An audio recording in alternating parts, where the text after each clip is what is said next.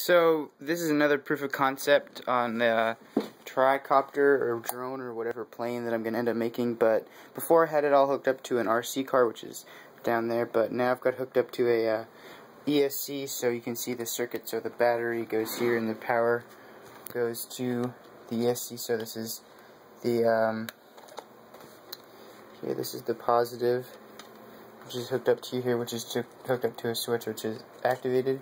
And this is the negative, which is, um, or no, this this is the negative, which is hooked up to the negative on the speed controller there, and then this this control horn is this is hooked up to the or not control horn, this the just the control signal wire. So this is hooked up to the negative on this board, which doesn't make sense. That should be over here.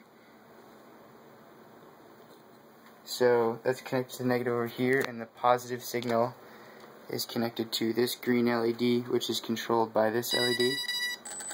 So you can see it.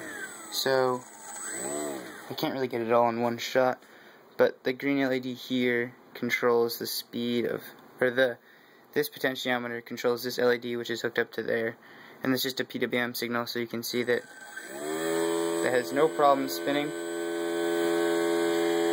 Um, so yeah, it's just a proof of concept that since it controls, turn that off. Since it controls the MOSFETs with a um, PW, PWM signal, that's easily trans like translatable to a uh, electronic speed controller, which is what we have there. So um, the reason it's going really really slow is because the signal has to go through a bunch of this old crappy wire. Because I had it all set up before for um, bench testing.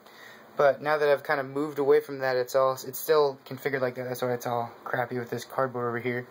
But um, yeah, that was a while ago. That was back in the uh, older videos. I'll link those in the description. So yeah, um, pretty cool stuff. Thanks for watching.